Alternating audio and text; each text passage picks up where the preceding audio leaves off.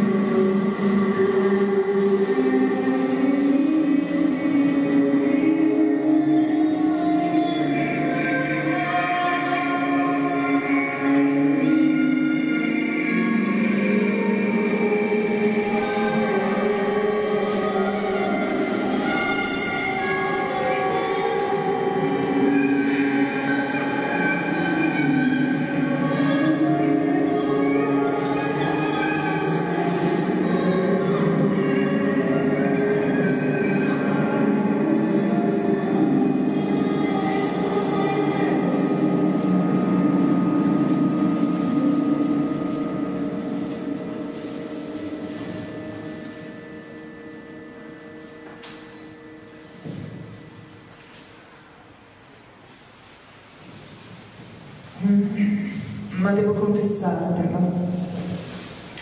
Non mi interessa nessuno spiritismo e nessuna magia.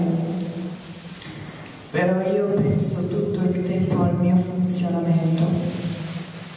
I figli che ci sono per forza, le cose che fanno tenerezza. Chi mi ha generato era poi così piccolo, era qualcuno, quindi senza strada.